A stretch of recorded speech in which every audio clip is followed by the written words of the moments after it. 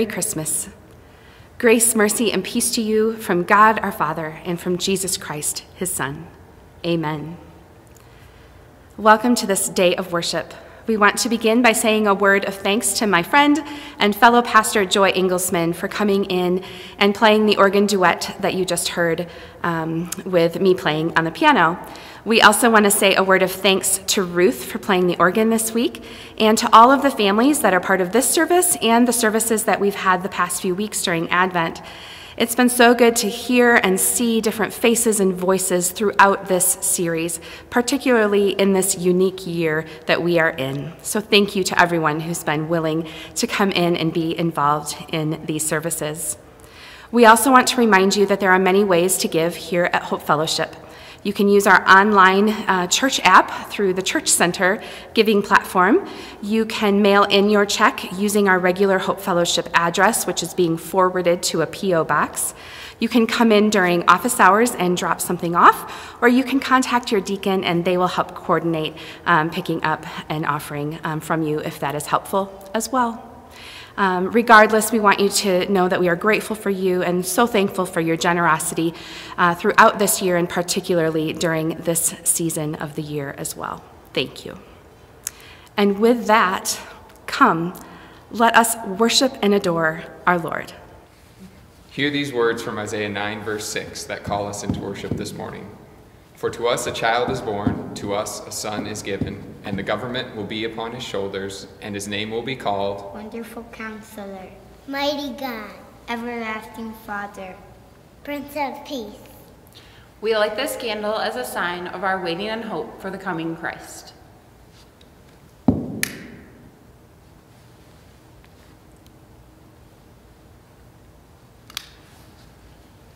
Merry Christmas.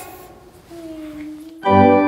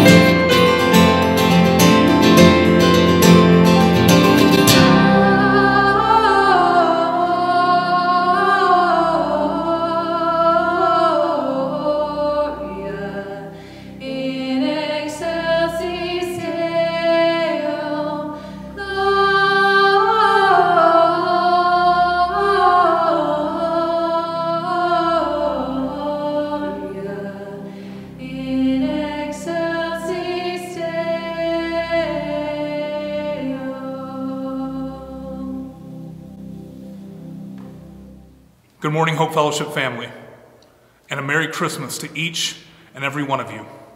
Will you join me in prayer? God, we greet your coming with wonder. You come to be with us, yet you remain far greater than we can imagine. You are near, yet your wisdom sets you apart from us. You appear among us, yet we cannot describe your glory. God, we greet your coming with repentance. We are more or less satisfied with ourselves, but your presence exposes our sin and brokenness. We are self confident, but you challenge our confidence in ourselves. We are proud of our understanding, but you show us that we do not know everything. God, we greet your coming with joy. We had no, uh, we had no true idea of what you are like, but you have shown us yourself in Jesus Christ. We felt our human life could be of no importance to you, but you have shown us its value by appearing among us as a person. We are aware of this gulf between us and you, but you have bridged it with love and you have brought us together. God, we greet your coming in Jesus Christ, our Lord. And we pray all these things in the name of the Father, Son, and Holy Spirit.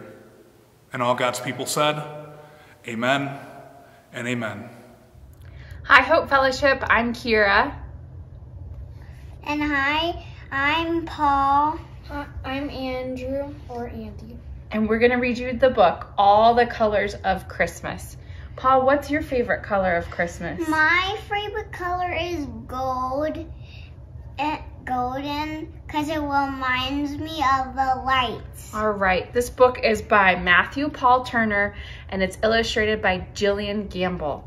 Andy, are you ready to help me? Mm -hmm. All the colors of Christmas. Christmas is red. Christmas, Christmas is white. It's a shiny new sled. It's and candy canes. It's a toy store lanes. It's sprinkled on sweet bed bread. It's packages with bows and Rudolph's bright red nose. It's pictures drawn and dressed up lawns. It's warm mittens when it snows. It's the drummer boy's drum, the pum pum. It's Santa Claus and cranberry sauce.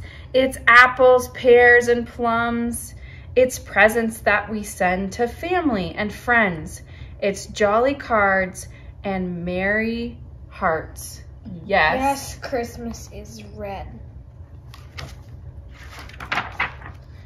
Christmas is green. Christmas is green. It's an evergreen scene. It's holly sprigs and mistletoe twigs. It's emerald lights along a gleam. It's garland on rails and pine needle trails. It's winter boots and funny elf suits. It's that old Mr. Grinch. It's Granny Smith's pies and plaid bow ties. It's fresh potpourri and that smells so Christmassy. It's stockings hung high. It's tinsel on trees and grass iced by freeze. It's Christmas tree balls and artwork on walls. Oh, yes, Christmas is green. Oh, green. Hey, I'm supposed on to, I'm supposed to Oh, this is your favorite, Paul. Christmas is gold. Christmas is gold. It's bright ribbon unrolled. It's jingle bells and warm, yummy smells. Yes. It's heirlooms. The Chris, yes, Christmas is gold. It's it is gold. It's heirlooms you are not allowed to hold. It's dancing, dancers all tapping among holiday trappings. It's nutcracker crowns and Christmas Eve gowns. It's glittery gift wrapping. It's a big turkey roast and walnuts you toast. It's crackling fires and glorious choirs. It's an ornament that you love the most. It's kids shouting, Behold! wearing halos and robes. It's treetop stars and old church bazaars. Yes, Christmas is gold. And You can say I'm- it too. Christmas is blue. It's the wintry sky hue. It's flannel sheets and shaped cookie treats. It's a lake frozen through. It's big puffy coats and huge parade floats. It's juniper trees and blue spruce wreaths. it's It's Christmas blue. It's blue. It's writing Santa notes. It is blue. It's a sweater Mama knit. So Christmas is yet Christmas is black. Christmas is black. It's a turquoise lights in the darkest of nights. It's a snowman's outfit. It's memories old and new of loved ones gen- gone too soon. It's an Elvis song and nights growing long. Yes, Christmas is Is black. blue. Look at the blue. Christmas. Christmas is white. Christmas is right. That's right. It's warm candlelight. It's mountaintops and small fancy shops. It's turtle doves flight. It's December snowstorm and blankets so warm. It's angel wings and the song that we sing about our dream for Christmas morn. Morn. Look at the reindeer. It's got white. It's sleigh rides through snow and lights that glow. It's North Pole tales and frosty exhales. It's cocoa with marshmallows. It's the star shining bright on the holiest of nights. It's powdered cakes and peppered snowflakes. Yes, Christmas is white as can be. it is white, isn't it? Christmas is brown. It's, what is it? Christmas is brown. It's pine cones scattered round. It's caramel corn And and copper it. French horns. It's winter frozen ground. It's firewood piled high. And reindeer that fly. It's cinnamon and ginger treats. It's homemade pecan pie. Backstage. Ooh, backstage. It's cradled soft with hay and donkey's gentle bray. It's God within a baby's skin on that very first Christmas day. I love these pictures. Mm-hmm. It's shepherds kneeling down and wise ones gathered round. It's Mary's sigh and Jesus' cry. Yes, Christmas is brown. Christmas is you. It's you and you. It's your own unique hue. It's your wondrous gleam and your bedtime dreams. Your color each Christmas anew. Christmas is you. Christmas is red. It's you. And you. It's your tinsel and flair and the gifts that you share. It's your jingling smile and your fa la la la la style. It's how you love and how you care. Come sit, Paul. It's the song that you sing and the light that you bring. It's your heartfelt compassion and your hope put in action. It's your thrill for the little things. It's your love for what's true. It's the good that you do. You're a part of the story, the joy and the glory. Yes, Christmas is you. Do you want to say it? Christmas is you. The end. Please join me in a prayer for illumination. Lord, may your word be our guide, your spirit our teacher, and your glory our single concern. Amen.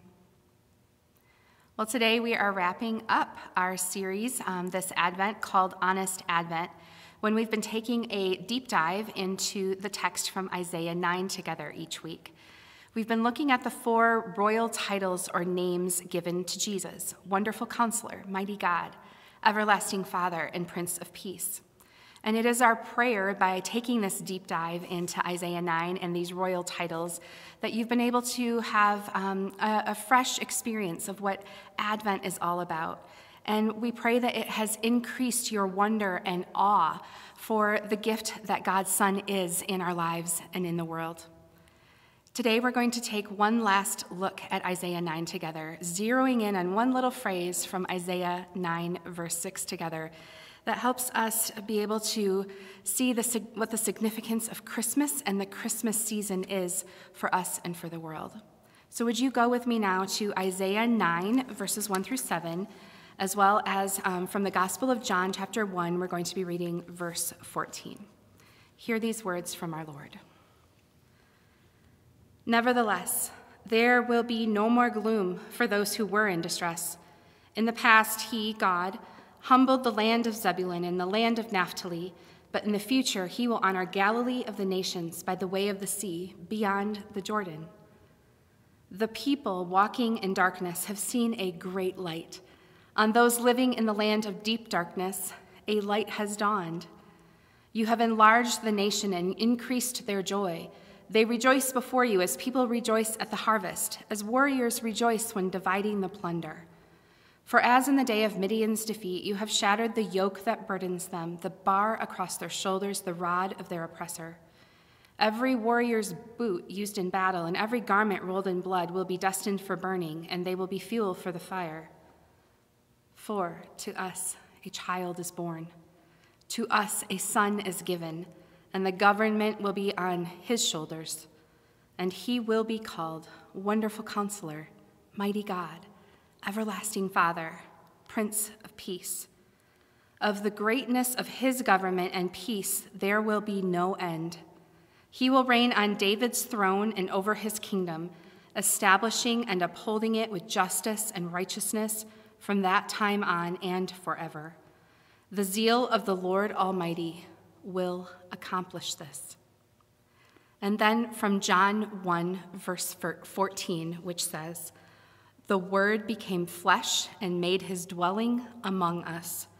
We have seen his glory, the glory of the one and only Son, who came from the Father, full of grace and truth. This is the word of the Lord. Thanks be to God. Since we are celebrating Christmas here at church a couple days after Christmas Day this year, I can ask a question that I normally wouldn't be able to quite ask yet if this were a true Christmas morning service.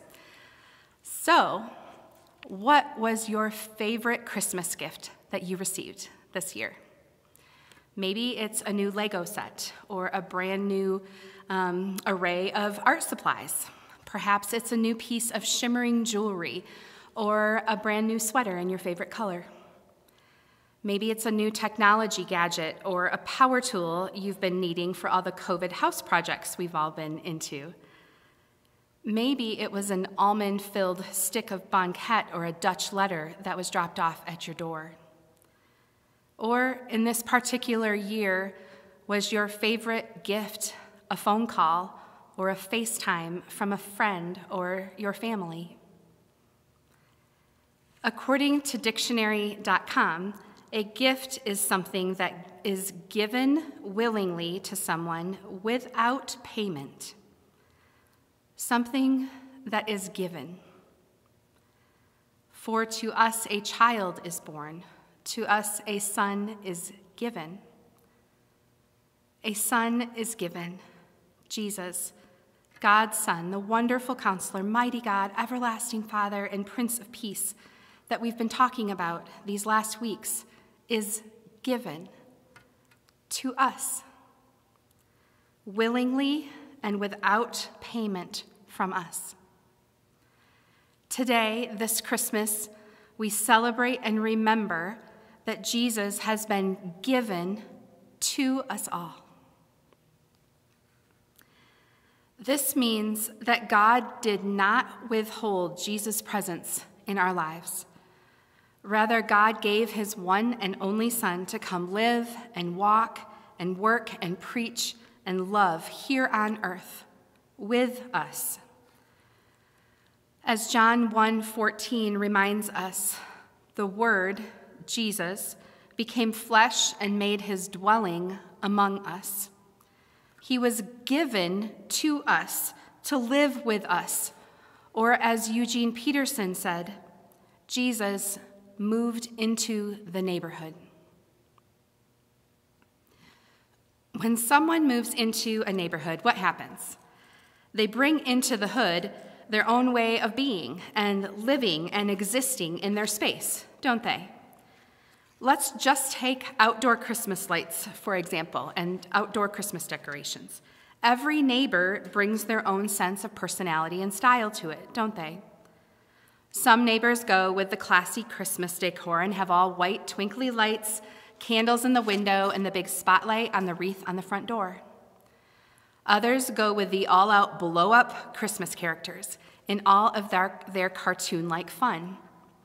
I see you, Brian Swally. Some people are the neighborhood comedians, or you could say the Scrooges, and they put a sign in the yard saying, Here to see lights? Look to your left or to your right.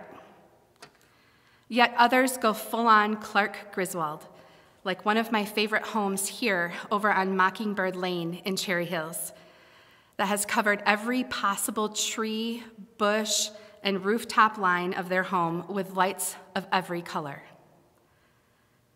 Every one of our neighbors, including each one of us, bring our own unique character and way of being into the world.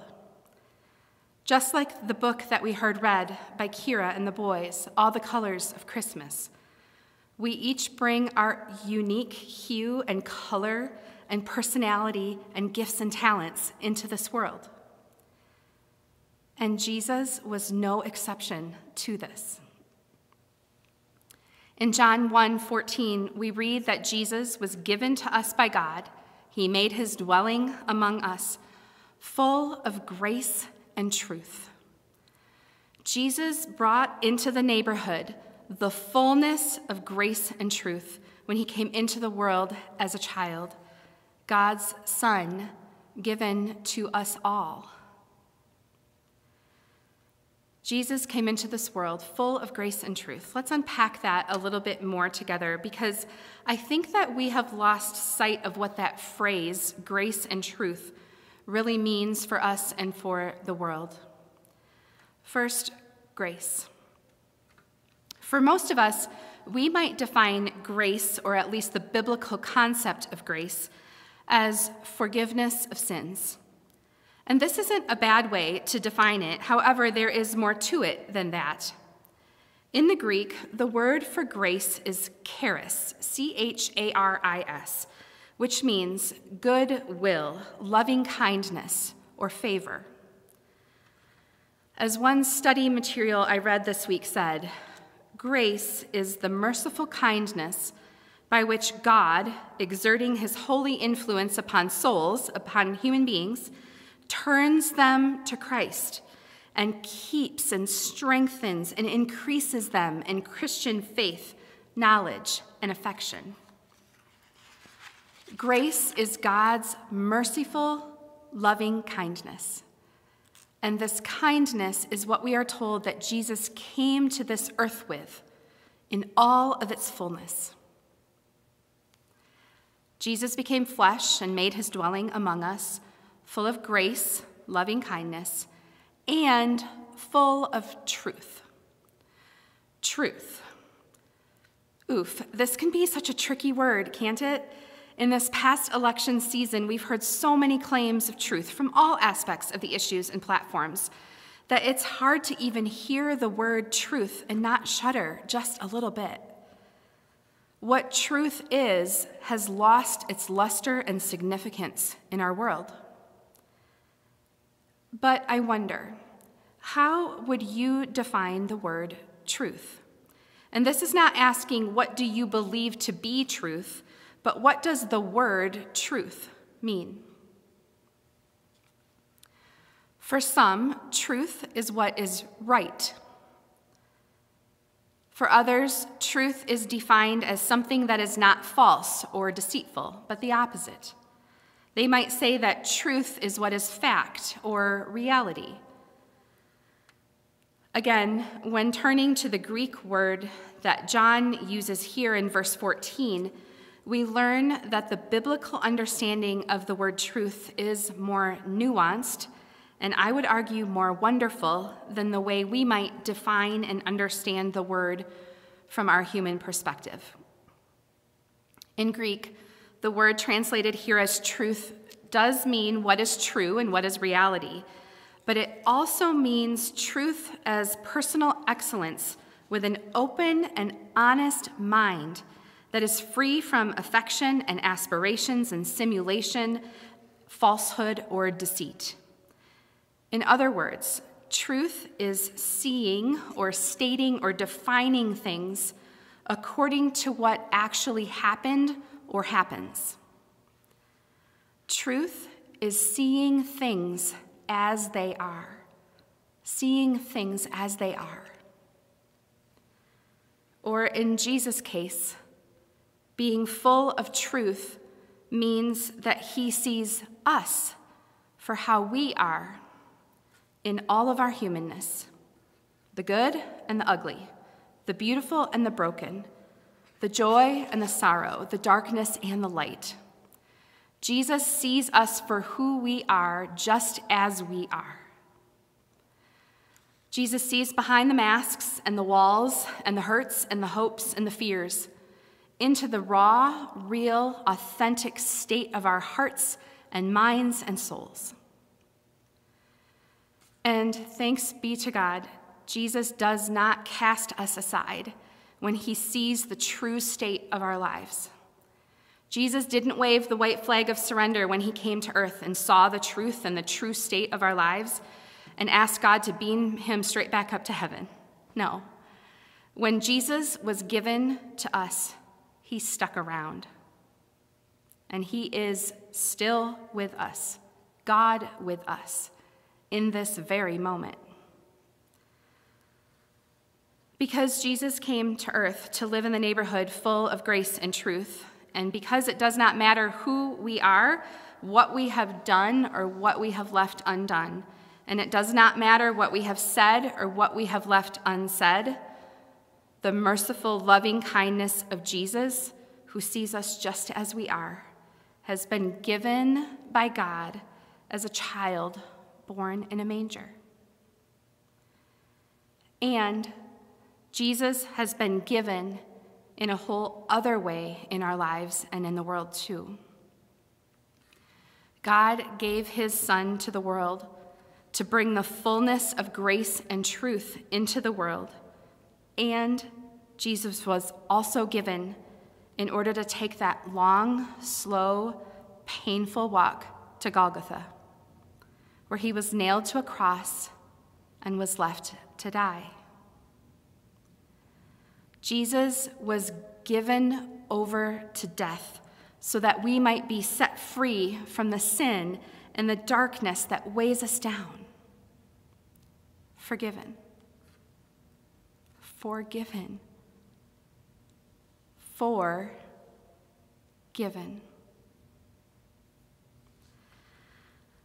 I love how the author and painter, Scott Erickson, whose book Honest Advent has been our inspiration for this series, points out this beautiful thing about the word forgiveness that I have never noticed before. Did you see it? In the middle of the word forgiveness is the word given. Forgivenness. Scott Erickson writes this about forgiveness. This is why the kingdom of heaven is built on the foundation of forgiveness.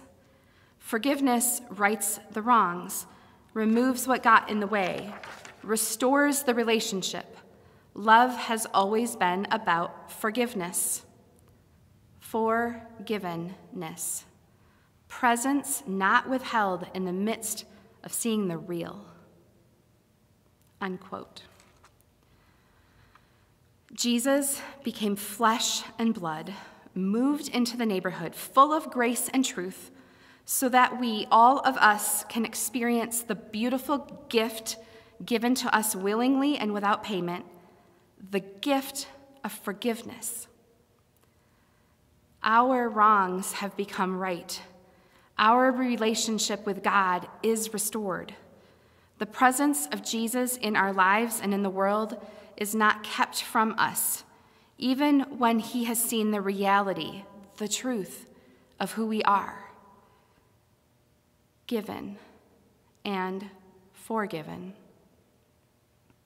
Why? So that love and mercy and kindness can take over in our lives. And now, today, there are two invitations for us here before we close. First, if you have not experienced the reality of Jesus' presence in your life and the merciful, loving kindness of Jesus as your Savior, let today be the day that you step into the givenness of our Lord that is for you. May the child that is born, the son that is given, set you free to live a life marked by God's love, mercy, and kindness for you. The second invitation for us today is gratitude. Gratitude for the best gift we have received on this Christmas the fullness of grace and truth given to us when Jesus entered the world over 2,000 years ago. And gratitude for the forgiveness, forgivenness we have received because of the life, death, resurrection, and ascension of our Lord given for us all. Lastly, the grace and truth of Jesus is meant to be shared, my friends. Our gratitude can best be shown when we share this good news with the world. This means we share the gift of grace. We give the gift of merciful, loving kindness to others, all others, no matter how they might decorate their lawns for Christmas. It also means that we share the gift of truth with others seeing others for how they truly are, and not casting them aside when we don't like what they say or do or how they live. It's not easy, I know. But we love and we serve a Lord and Savior who has shown us what it looks like to live with the fullness of grace and truth in this life.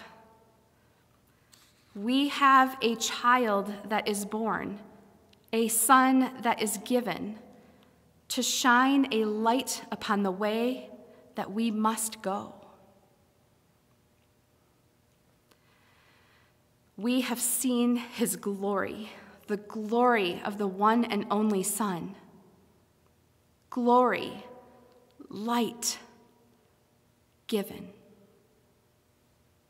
full of grace and truth. The people walking in darkness have seen a great light. On those living in the land of deep darkness, a light has dawned. Thanks be to God.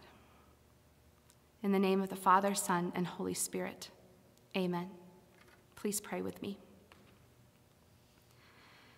God, you have caused this day to shine with the brightness of the true light, your glory. Grant that we who have seen and known the mystery of that light here on earth might live lives filled with gratitude for the gift of your Son who has been given to us and to the world. God, we praise you that the light, love, and hope that is in the world has a name Jesus. Come, let us adore him. In his name we pray. Amen.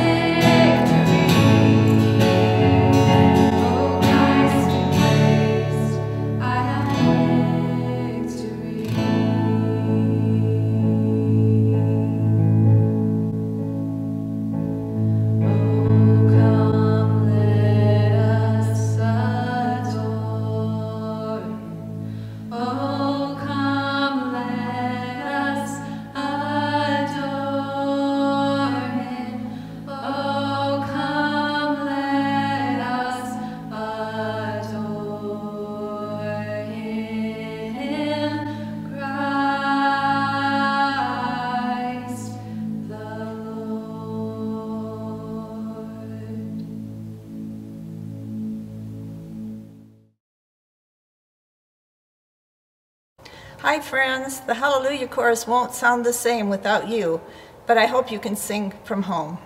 Hallelujah.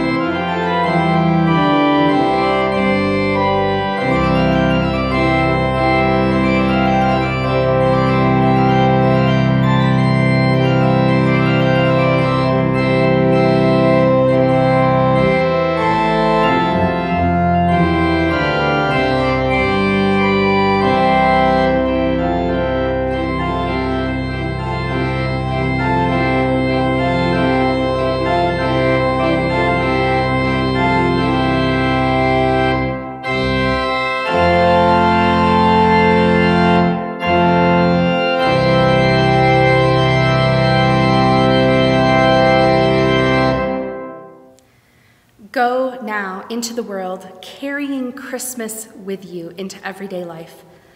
Be the hope and joy, love and peace that has been shown to us through God's Son, Jesus Christ, who has been given to and for us all.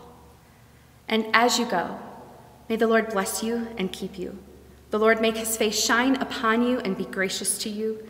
The Lord lift his face toward you and give you peace, now and forever. Amen.